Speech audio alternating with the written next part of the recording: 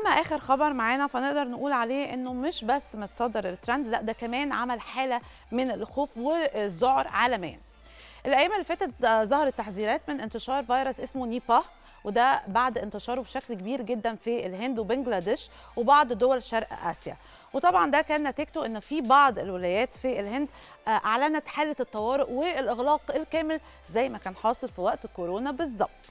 وده طبعا بسبب تفشي الفيروس اللي بينتشر بشكل سريع جدا وتسبب في عدد من حالات الوفاة. فيروس نيبا هو فيروس قديم وكان أول ظهور ليه في سنة 1998 في ماليزيا. وعشان نعرف أكتر عن الموضوع هيكون معانا دلوقتي مداخلة مع الدكتور إسلام عنان أستاذ علم انتشار الأوبئة. أهلا بحضرتك يا دكتور. أهلا وسهلا مساء الخير حضرتك أهلا وسهلا بكل مشاهدينك الكرام. دكتور إيه حكاية الفيروس ده؟ هل هو فعلا يعني خطير زي ما الصحف العالمية بتقول ولا لأ؟ يعني وشكرا على المقدمة اللي مهدت الطريق يعني زي ما تفضلتي بالظبط يعني هو الفيروس قديم. لو اتكلمنا على نسب وفياته فهو يعتبر خطير في نسب وفياته لأن هو نسب وفياته ممكن توصل ل 75% من المصابين. بس هي الحمد لله هو نسب دايما الإصابة بتاعته قليلة للغاية. يعني إحنا حتى في الموجة الحالية بنتكلم ست حالات أو ثمان حالات. يعني دايما بيبقى الحالات بتاعته قليلة. وإحنا عموما يعني كل سنة بيجي حالات أو ممكن تفوت سنة ويحصل السنة اللي بعدها فالفيروس متفشي أو بيظهر عادة في آسيا ما بين ماليزيا سنغافورة بنجلاديش حاليا مثلا في حالات في الهند. لكن طبعا هو بعيد عن منطقة الشرق الأوسط يعني ما بيظهر لناش حالات يعني من أول ما تم اكتشاف أول حالة عندها هذا الفيروس حتى الآن ما حصلش أي حالة الحمد لله موجودة في مصر.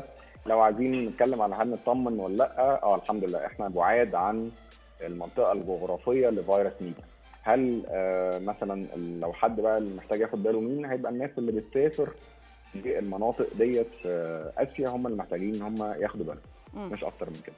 طيب دكتور الفيروس ده جاي من إيه أصلا؟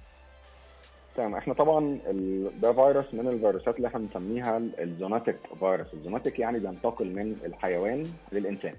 هو بيجي للبشر من الحيوانات وصعب قوي ينتقل من شخص لشخص. فهو عادة بيجي من الحيوانات مباشرة للإنسان.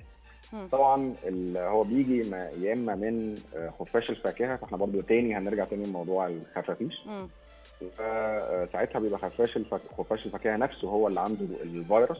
بعد كده بياكل سواء مثلا بلح أو ثمرة غالبا حتى هو أكتر حاجة فيها اللي هو البلح الملوث في النخيل اللي هو موجود في آسيا.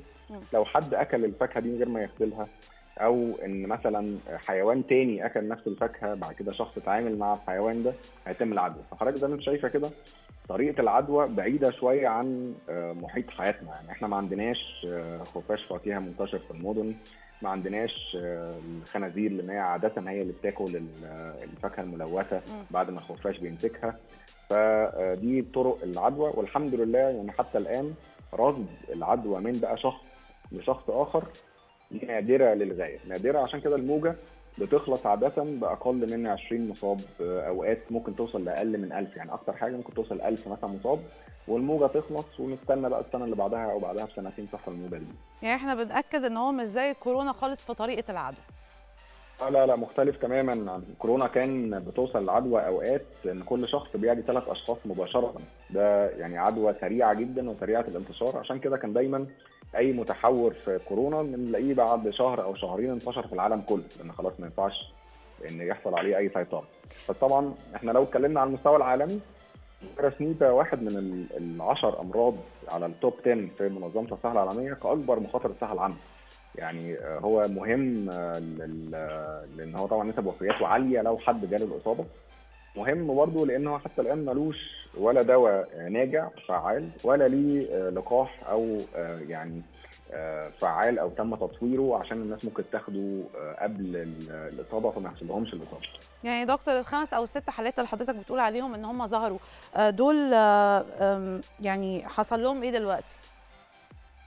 إحنا حاليا الاثنين منهم للأسف توفوا والباقي موجود في المستشفيات تحت الملاحظة وهو علاجه علاج أعراض يعني زي ما اتكلمنا هو ملوش طبعا. علاج خصيصا ليه فهو بيتعالج الأعراض لو الحالة اتلحقت بدري نسبة الشفاء بتقارب 100% المشكلة كلها لو الحالة تدهورت وابتدت تخش في مشاكل تنفسية لأن هو بيجيب encephalitis اللي هو جهاز أمراض الجهاز التنفسي الحاده اللي هي زي الالتهاب الرئوي كده بس حاجة ثانية وأوقات بيجيب ال encephalitis اللي هي التهاب الدماغ. طبعا ده لو اتثابت من غير متابعة.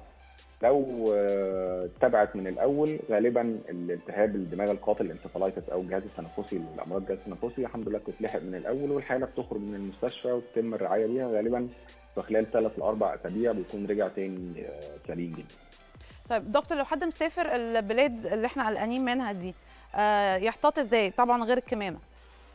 يعني هو عادة لو رايح مدينة مش هيبقى فيه أي مشكلة كبيرة. هو الوقاية دايما والتحذير بيبقى لو حد رايح غابات أو رايح سفاري في ممكن يبقى فيه تعرض لحيوانات برية مثلا. يبقى فيه خفافيش ويبقى فيه خنازير وخلافه الحاجة المهمة في الأثناء دي طبعا زي حضرتك ذكرت كده الكمامات. بس الكمامات مش هتبقى فعالة قوي لأن هو بينتقل نادرا من إنسان لإنسان.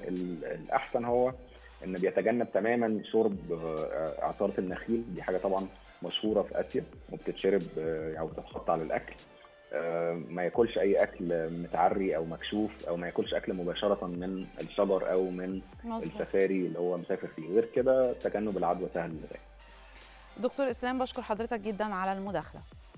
شكرا جزيلا.